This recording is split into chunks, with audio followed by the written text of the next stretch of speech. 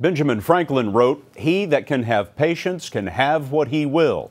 For the woman you're about to meet, it took patience, luck, and as Wyatt Andrews reports, a Benjamin.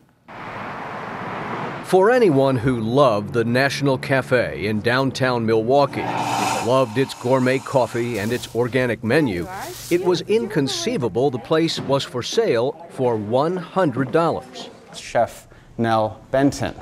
The lucky buyer is 35 year old Nell Benton, a local chef who was unemployed. It's completely changed my life. Completely. This is also a dream that Nell first had when she was seven years old. Do you remember being seven years oh, old? Oh, yeah. I was writing menus and playing with my Holly Hobbie oven, setting things on fire. Yep.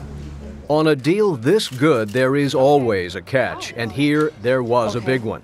Nell had to promise to keep the National as is, keep the staff, keep the name, buy local, and stay organic.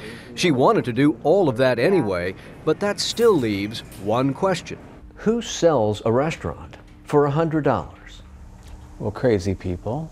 Um, no. The seller and the man who built the National is Michael Diedrick, a man who also owns a website design company two doors down from the cafe. He lost $50,000 on this sale, but still calls it a business decision. The idea of a $100 restaurant is to really find the right kind of owner. The National, Michael explains, is the economic anchor of the neighborhood, an area of Milwaukee where the ballet school is blocks away from the soup kitchen.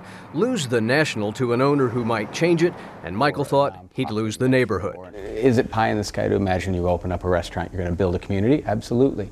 It is, however, a start. And that's what I was going for. And so Michael got his owner, Nell got her restaurant, the hundred bucks for Michael. And out of nowhere, for $100, a dreaming seven year old girl woke up and found the dream was real.